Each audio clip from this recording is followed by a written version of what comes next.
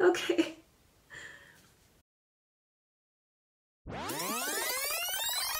Hey there, thanks for clicking on my face. Today we are going to color my hair with Overtone, which is not technically hair dye. It's a deep conditioner with color deposits, but I I have wanted to try going auburn for a very long time, and I'm finally gonna try it, but with an option that doesn't require the same amount of commitment as regular hair dye. I have hair commitment issues. My thought with this is if I hate it, you can just let it wash out. So we're going to do vibrant orange on my medium brown hair.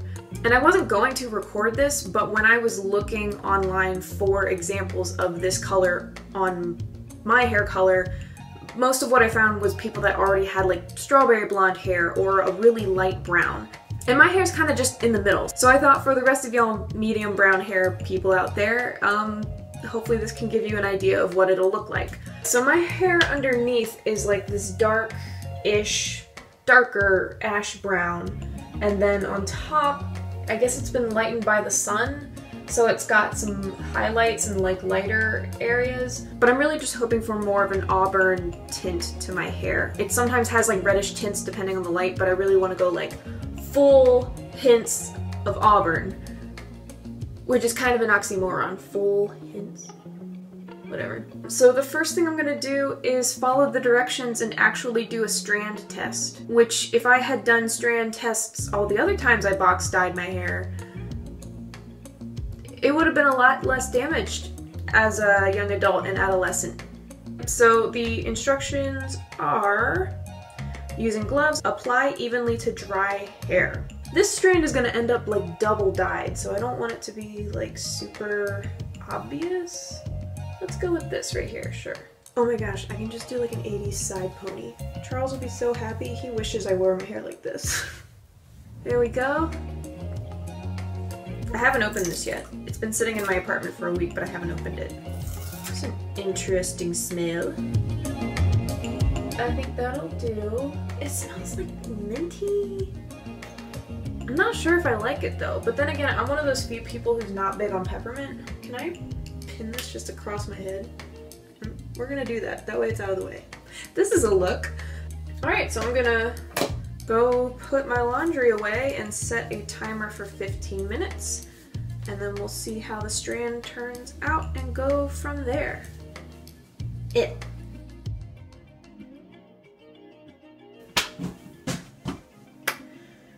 Okay, so strand test is done. Um, my hair refuses to dry, so I this is as good as it's gonna get. Um, and honestly, it's really hard to tell. I think I see like a hint of orange, which is fine. That's kind of more what I want anyway. So I think it's it's really subtle. Okay, so if I lay it against the rest of my hair, it's it's less mousy. which probably doesn't show up on camera, but I can kind of tell. I can tell against the rest of my hair. It's, you know, just oranger, which is what we want. So, again, this is my hair before, mousy brown underneath, um, kind of highlighted on top.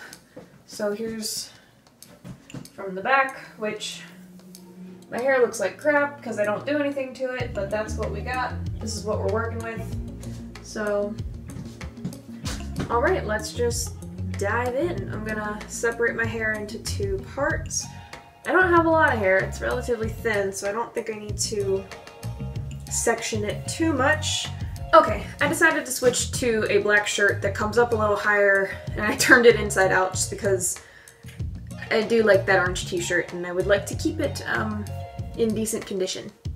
So, here we go again.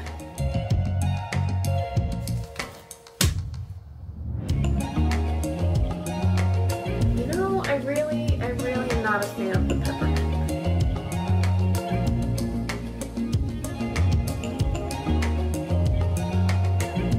It's a good thing I don't put my hair up like ever because this is definitely going to be staining the back of my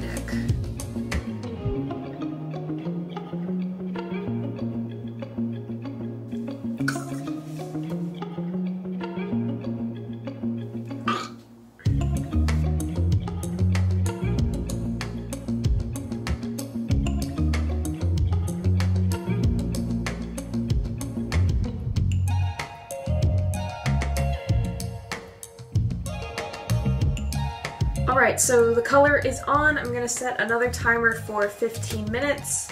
Um, I'm probably gonna use some rubbing alcohol to try to get the color off of my neck and my arm and in my scalp here.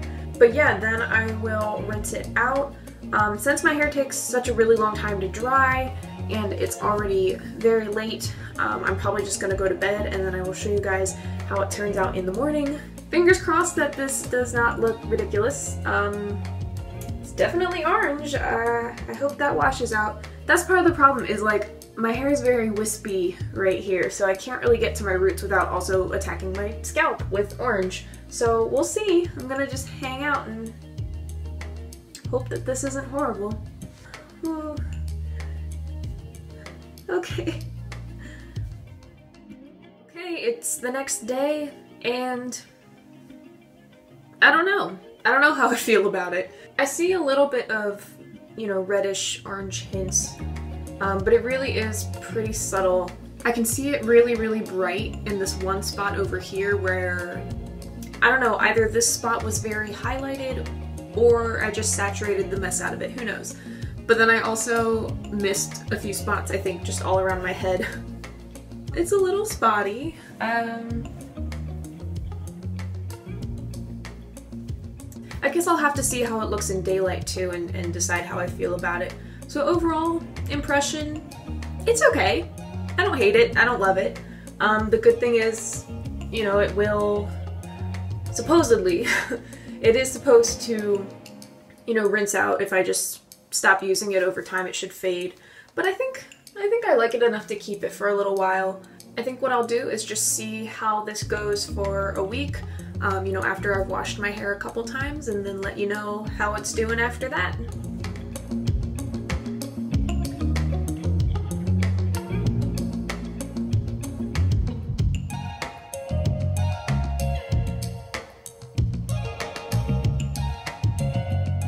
So it's been one full week since I used Overtone, and eh, I've only washed my hair twice since using it, and the first time I washed my hair, so much orange came out in the water.